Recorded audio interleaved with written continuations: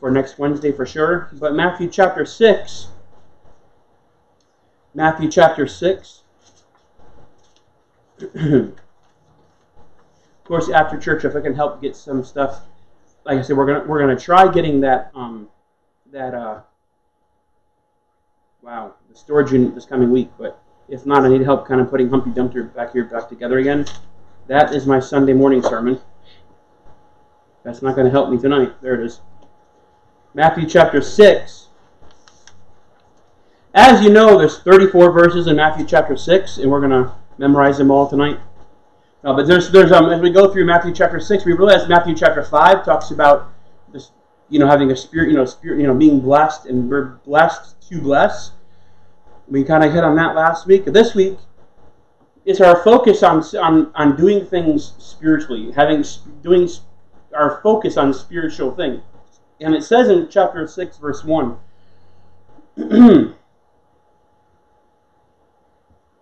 Matthew chapter 6, verse 1. Let me get the shut up machine going that I rarely listen to anyway. Take heed that ye do not uh, your alms before men, to be seen of them.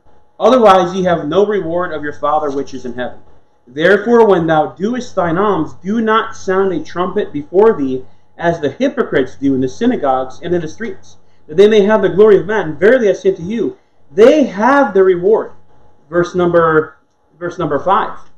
And when thou prayest, thou shalt not be as the hypocrites are, for they love to pray standing in the synagogues and in the corners of the streets, that they may be seen of men. Verily I say unto you, they have the reward.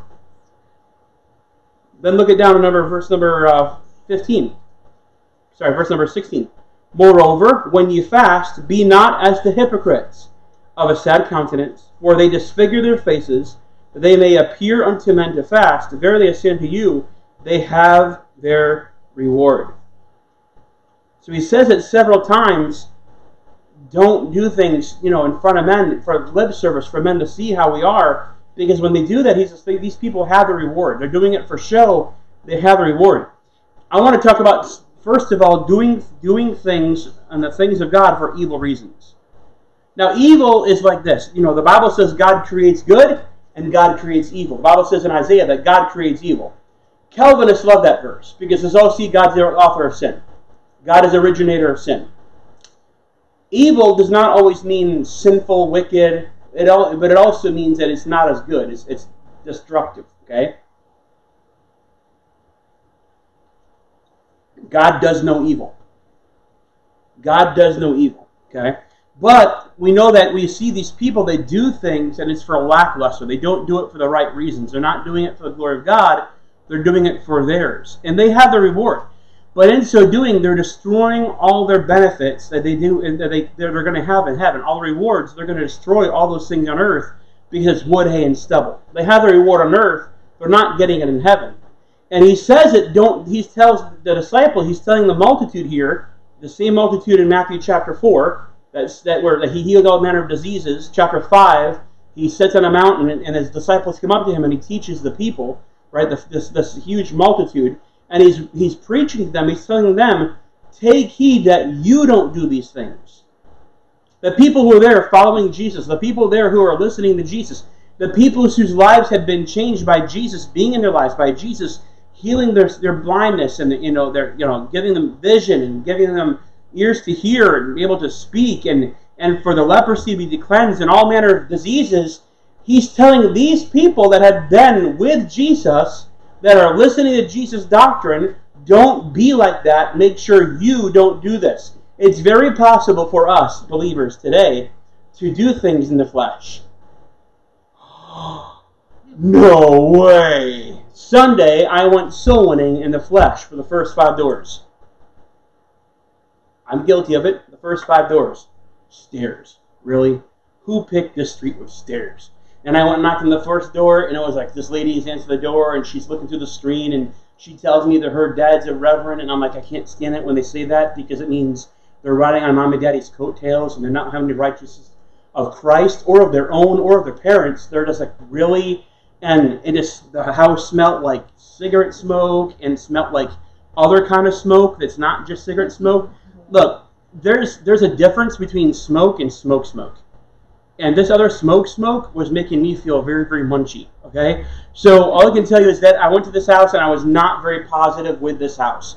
And it just you could tell the house had just been like things were going on in the house that not not be. But there's evil reasons that I was at that door. And here I am trying to preach the gospel and I had evil reasons the Bible tells us there's there's people here that in, in Matthew chapter six that they were doing it to be seen of men. Is it wrong to fast? No. Is it wrong to be seen? Is it wrong to to um, to give alms? Not at all. Giving, you know, giving to the Lord is great. Someone told me the other day, "Is like, you know, hey, when I went to your church, you didn't pass you didn't pass a basket. I just want to know why. Was my money not good enough?" And I'm like, no, there's a basket there if you want to give. If you don't want to give, great. Well, I don't know. I'm like, well, we don't expect anybody to give that doesn't want to give to the Lord. It's there. You know, if you wanted to give, you got to ask. We could have told you.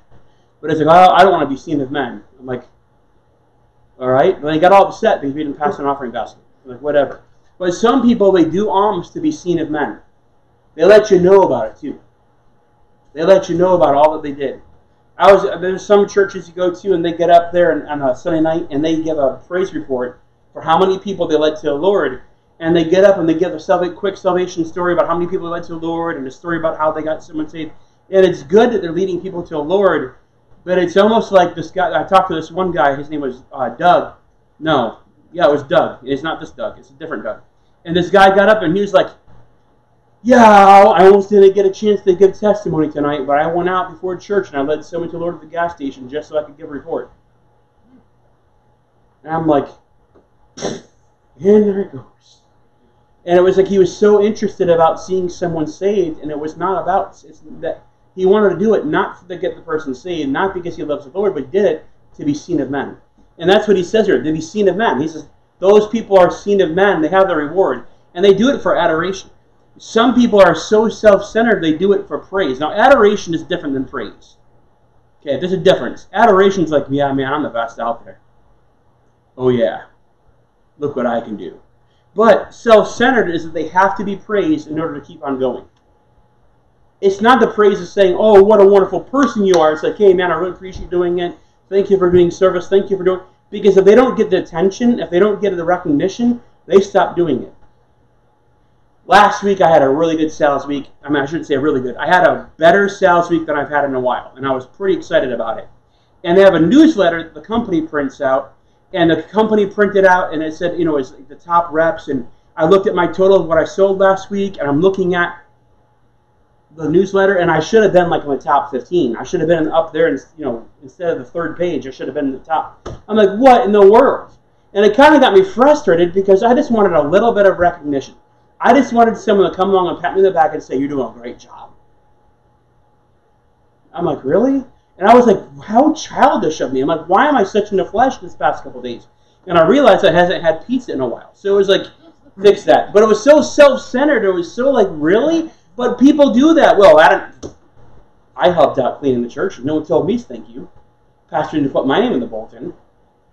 We literally had that in New York. And it wasn't, and we also had that in Florida, in our church plant in Florida. It was literally like if we didn't give public recognition, people flipped out. One guy actually left the church because we didn't recognize him publicly. And it's not that they have, it's not that they're so pumping themselves up with pride. Is they have to be patted on the back. They have to be recognized. They have to be they have to be affirmed every week. And I'm like, at some point, I'm like, look, I am not affirming you every week. Either you are confirmed in Jesus Christ, you're accepted the beloved, and that needs to be good enough for you because I'm not always going to drop your name from the pulpit. That's just going to stop. And the guy got mad and left. But also, their, their spirituality is defrauded. The Bible calls them hypocrites. The Bible calls them hypocrites because they appeared to be one thing and they did the total opposite. So there's people that are doing like going soul winning, but they're doing it with the wrong motives. They're doing it with for, for self adoration to be seen of men. They're doing it to be self centered in their praise about what they think about themselves, and their spirituality is defrauded. And you're like, wow, they're not as spiritual as I thought they were. Or wow, you can see right through them and say, what a fraud. What if and you can tell it too because when they're put to the fire, they melt. When they're put to the test, they're, they're, they're, you know, they're, they're, the wind drives them away. They're tossed with every wind doctrine and they're gone. They're gone in the wind. What would happen? Their spirituality was defrauded. I'm not saying they never walked with God. I'm not saying that. What I'm saying is, in that moment of their time, their spirituality is defrauded because their spirituality is tied to what they do and what they and what they're seen of men. And if they're not seen of men, if they're not recognized, if they're living opposite of what they're doing, hey, Sunday I was I was defrauded. Sunday going out sowing, I was defrauded. And it took me about five or six hours before I caught on to it. I was like, oh, okay, I gotta stop. And I literally stopped and I literally took a took 35 seconds to a minute and just took a deep breath and I was like, okay, Lord, you got to forgive me for doing this in the flesh. Please help me. I need to get out of the flesh and get in the spirit. Lord, please help me to surrender to the spirit right now and crucify the flesh in my mind and stop complaining about walking up a small hill to carry a you know a, a New Testament and some tracts to a door when you carried my cross of Calvary's Hill. So pardon me for being selfish. Lord, please forgive me for being selfish. And in my mind, from that on, I felt okay. I mean, still walking back, my legs were hurting, and my body was aching, and I overdid it the, the week before. But I was like, you know what? I don't want my spirituality to be defrauded. I'm not boasting myself about how I came to recognize it. I'm saying that's what we need to do is recognize that we're not doing what we say we're hypocrites. I'm here to share the good news of Jesus Christ. Why is your stare so lopsided? what is wrong with you? but you also, not only do you see people doing it for earthly reasons, but you also see people serving God for earthly cares. They're doing it for earthly cares. You know, pastors, missionaries, evangelists, church members, you know, people do things out of earthly care. Sometimes we serve God because we want God to give us a blessing for food, raiment, or clothing. You know, food, ra- food, raiment, or lodging, or hair on top of our head if it's possible. At this point, Josh, I say we give up. But um, I'm right there with you. I'm like, hey, you know, what's up with that? You know, my both my, my hairline is my hairline is receded. It's given up. It's retreating, and I don't know what to do about it. But uh, some people worry about they some they sometimes the only reason why people will go out soul winning is because they want God to bless them, or sometimes people only tithe. It's because they want to force God pigeonhole God into into blessing them. Okay, God, it's this refrigerator. All right, God, I'm gonna go get a styrofoam chest, but you better bless me. well, that's that's not that's not. You may do it for obedience, but guess what? What hay and stubble. It's not gonna get your rewards. But some people only serve God for earthly cares. Some pastors won't get up and preach the whole counsel of God. Won't get up, and they've studied out. Let's say little. Let's pick a hobby horse topic we talk about. Let's talk about the you know spiritual Israel. They've studied it out they've come to realize that hey, we are the children of Abraham through Christ. We are spiritually spiritual. We are a spiritual Israel, and those promises are to us by Christ. But they won't get up and preach it. They'll dance around the issue. They'll not head it straight on, and they'll because they're afraid. Because if they do, they'll get kicked out of their church. And when they come, they're like, you know what? I don't want to do that. I don't want to go that direction. Or hey, what about the post-trib rapture? You come out openly and preach, preach, you know, preach the post-trib rapture, it's almost like if you want to do that and keep your church, you got to like, why? I'm studying it out. You can show me, show me otherwise, but I'm not sure, and come across as the harmless ignorant, you know. And but they're but they're doing it in such a way like I'm afraid to touch a subject, or hey, preaching on the inspiration of the Bible, or preaching on salvation by grace through faith without repentance, you know, repentance of sins necessary. Whatever we reprobate doctrine. Oh, good grief, the reprobate doctrine. Oh yeah, I'm in secret. I'll say it, but I can never see it from the pulpit. Never why not? We'll split my church. I don't know what I'll have to do. The church couldn't survive if I did. Well, you don't have much of a church if you can't preach liberty. And how many pastors do that? How many pastors have that issue where they can't? I remember when I was in New York and I started looking at this thing and I started reading through the Bible and I was like, guys, I don't believe in the pre-trib rapture anymore. I said, this is what the Bible's. I mean, I, I can't, I can't wholeheartedly agree with this. And this is what I believe. I do believe it's pre-wrath, but I was having trouble with the timing. I was having trouble with the timing because I didn't I didn't have spiritual Israel down right.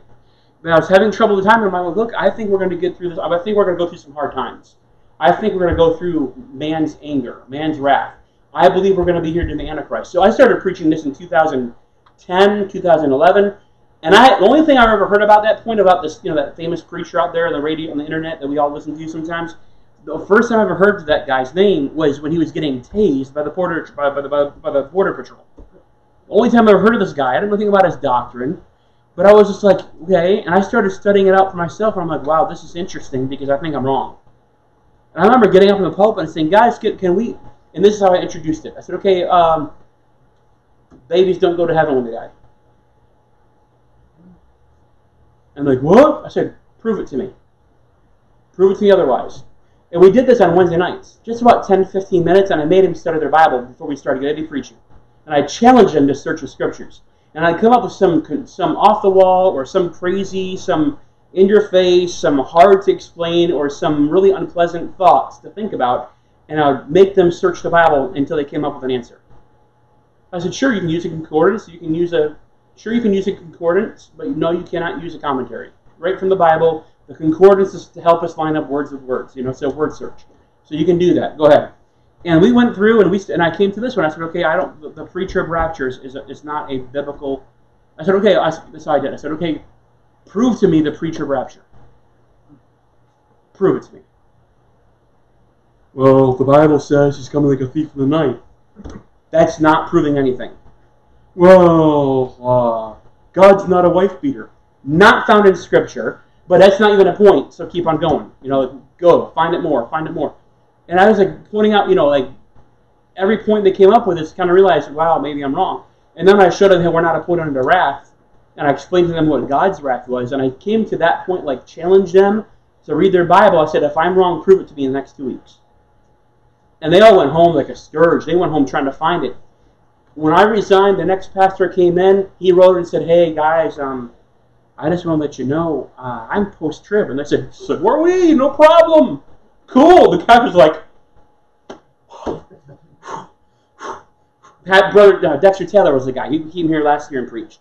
But he was just like, Oh, oh. Well, he resigned. Dexter Taylor resigned, and a new guy came in from Landmark, where I went to college, where Pastor Bull went to college. He came in, gun bla- guns ablazing, pre trib, dispensational and the church was like, uh-uh. And he's like, whoa, what is this? Get behind the pastor. Get behind the pastor. And he was like having a hard time because the past two pastors preached this thing. And he's just like, whoa, whoa, whoa. And he wound up leaving. But it was just like, whoa, like, hands up. But some pastors are afraid to get up there and preach certain doctrines because, hey, what, what happens to my paycheck? What happens to my church? What happens to my safety net? What do I do? Well, go be a bivocational pastor. Go try it. See how it works. But um, it takes your earthly cares, you know, the food, the lodging, the raiment. Jesus said, take no thought for these things. Look at look what it says in verse number um, verse number 25. Therefore I say unto you, take no thought for your life, what ye shall eat, or what ye shall drink, nor yet for your body, what ye shall put on. Is not the life more than the more than meat, and the body more than raiment? Isn't your life more than what you eat and what you wear? Yeah, it is. Behold the fowls of the air. He says, Are you not much better than that? Verse number uh, verse number 30. Wherefore, wherefore, if God so clothe the grass of the field, which today is, and tomorrow is cast in the oven, shall he not much more clothe you, O ye little faith?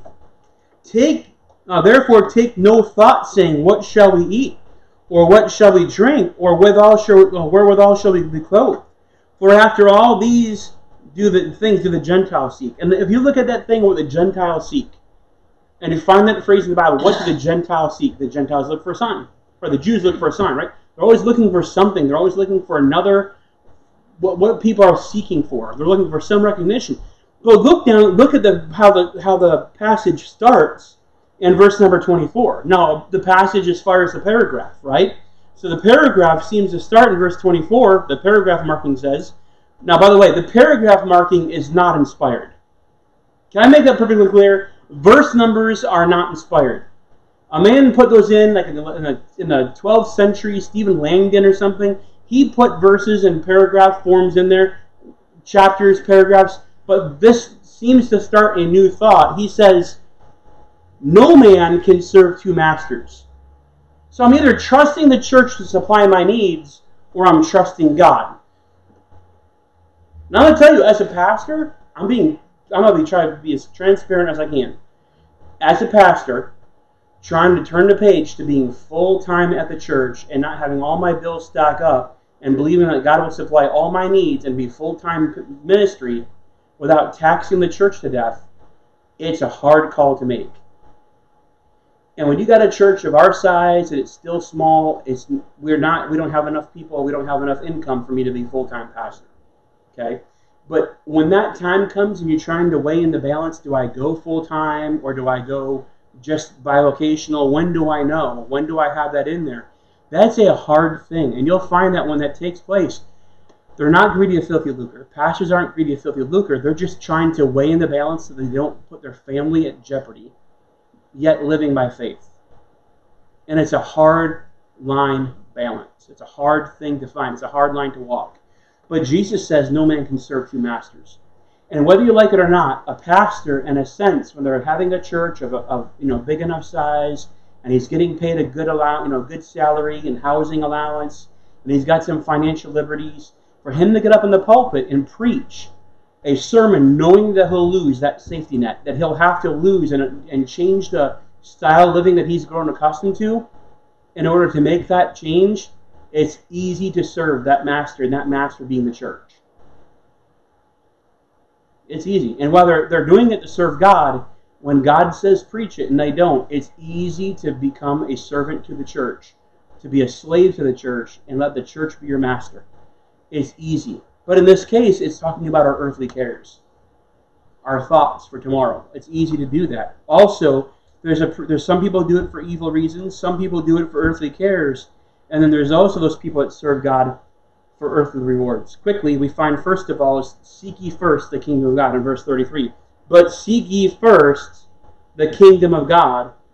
That's the first thing we seek after is the kingdom of God. Well, what is the kingdom of God? It's the furtherance of the gospel and having God's kingdom advanced. Okay? Having wanting God's kingdom to be advanced. Well, how is God's kingdom advanced? Through faith. Okay? God's kingdom is only advanced through faith. God's kingdom is not tangible to this world. It's not what we can physically see. Oh, there's God's kingdom here. Oh, there's God's kingdom here. I'm going to move God's kingdom from point A to point B. It's not visible. It's spiritual. And the only currency that's that is accounted for that's not counterfeit in this realm of the kingdom of God, in this in the spiritual thing of the kingdom of God, the only currency that's not counted as counterfeit is faith. Only thing that God will ever accept is faith. Only thing. So the only way we can increase the kingdom of God is through faith, increasing our faith and trusting and depending on Him. And that's the eternal rewards. Because that's what we're trusting God for. All these things will be added unto you. But hey, you know, the furtherance of the kingdom, the furtherance of the gospel, to get the gospel to the next person, but it's from faith to faith, right? The, the um, Romans chapter 1, it says, you know, the, the misquote John chapter 10. No, Romans chapter 10. Misfire. For therein is the righteousness of God, is Romans 1. For therein is the righteousness of God revealed from faith to faith. From chapter 1, verse 17. Verse 16. For I am not ashamed of the gospel of Christ, for it is the power of God unto salvation to everyone that believeth, to the Jew first, and also to the Greek. For therein is the righteousness of God revealed from faith to faith. As it is written, the just shall live by faith. So seeking first the kingdom of God, and we do these things by faith and for the purpose of building our faith and the faith of those around us. That's why we have church. That's why I that's why I get up and I preach and I want to encourage and increase my faith throughout the week on the on the subject, but also I want to be able to trans trans um not transform. I want to transpose the faith that God has given me through the week of studying these sermons out, but put them into Ben's life. And I want Ben to take those things and believe it and live it. Say, you know what? It's true. I'm going to live it. And it may not happen immediately, but he starts putting into practice. And Walter goes, man, Ben is, is really growing in the Lord. I want to see what he's doing. You start paying attention while he's practicing and he's putting into practice what's been given to him through faith. And his faith is increasing by other people around him, by the reading the Word of God, by the preaching the Word of God. and I'm gonna and by living the Word of God, I'm you know living in faith, I'm gonna do that. And then Deborah goes, man, Walter's doing something different, and then man, God's blessing is on Walter. I want to know what Walter's doing. And Walter's like, well, I'm not coming to church. No, just kidding. I'm just kidding, Walter. But he's just like, okay. And Deborah goes, you know what? I want to do that in my life. And then Deborah, and, and Deborah puts it in her life. And then Melissa's like, yeah, I need to increase that part of my life too. And Doug's like, thank God, my prayers have been answered. I'm not married to a rebel anymore. And it's like, hey, and then, and then Sarah sees it, and Aaron's like, whoa, revival. She admits that she's wrong every once in a while now. This is great.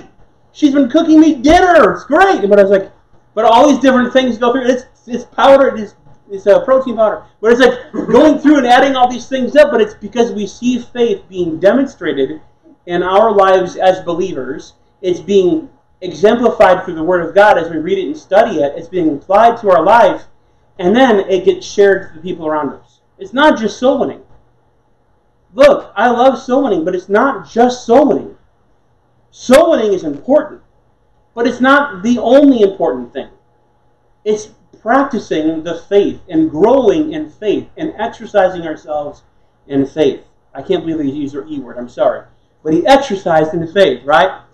But also, you see his kingdom advance. But then you also see this Seek ye first the kingdom of God and his righteousness by his righteousness, it's not just trusting in his righteousness for heaven, but it's trusting in his righteousness that his laws will be intact. And we're going to live ourselves by his laws. If a person believes that God is holy, but does not exercise himself in righteousness, their view of God's holiness is null. Now that was really deep. I'm going to say it again because I don't think I can. If a person's righteous, if a person's view of God is that God is a holy God, but that does not exercise himself in righteousness by God's laws and by God's standards and God's ways, and by right living, we don't have a view of God. How is these people who are Calvinists? Oh, God is holy, God is righteous, God is holy. And then the first ones out there getting drunk. But the first ones out there cheating on their spouse. I know of a guy who's a Calvinist. He's out there cheating on his wife. He's out there living up, doing all. I'm like, Right? Something's wrong with your faith. Something's wrong with you. Well, God is holy. God's holy. Yeah, but you're not righteous. If we're if our view of God sees God as righteous, you know, if our if our view of God sees God as holy, it ought to result in us being righteous, in living in God's righteous laws. But also, it's not just about legalism saying, well, God is against it. But what about God's liberties? Yes, there's a whole bunch of things that God says we're not allowed to do. But you know what? There's more things saying that God says for us to do. And that God gives us benefits and blessings of. There is liberty within Christ. I like to use this example. We have a little dog. It's a pain in the butt dog. I don't know what kind of a dog it is. It's a mutt. But this thing, Sally. Sally likes to get out and run across the street. You know, she gets out of the house off a leash and she just starts, she just darts. She plays Frogger around cars, not getting run over. But she just takes off and she makes her mark around the neighborhood. We go chase her down. If if the girls if the girls go getting her, go try to chase her before she's done marking, then she goes and then she takes off even further. So today we had an appointment, two appointments before church, and we're trying to get it done.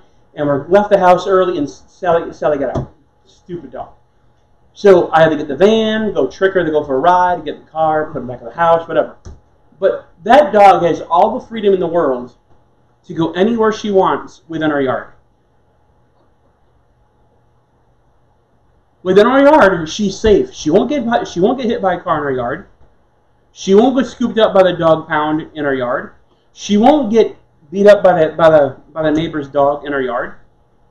In our yard, she is the safest the safest place for her is in our yard. And she has liberty to be in our yard exactly where she wants to go. She's got enough yard to run back and forth, run around the house, get her exercise, mark territory. She's blue in the face.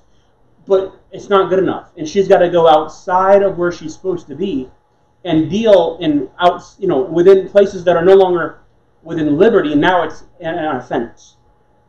We have liberty in Christ to do so much within the confines of Christ, but we're not satisfied. Because we go off into offenses and sins. We cross the road, we go into things that God says no, we dabble in it, and we want to use it say, well, we have, hey, diplomatic immunity. I'm an ambassador. I've got a diplomatic immunity. I'm a child of the king, diplomatic immunity. No, no, no. God says, stay in the confines of the liberties we have in Christ. He said, stand fast in the liberty wherewith God has made us free, right? Christ made us free, and be not entangled again in the yoke of bondage. Galatians chapter 5. Our liberty is in Christ.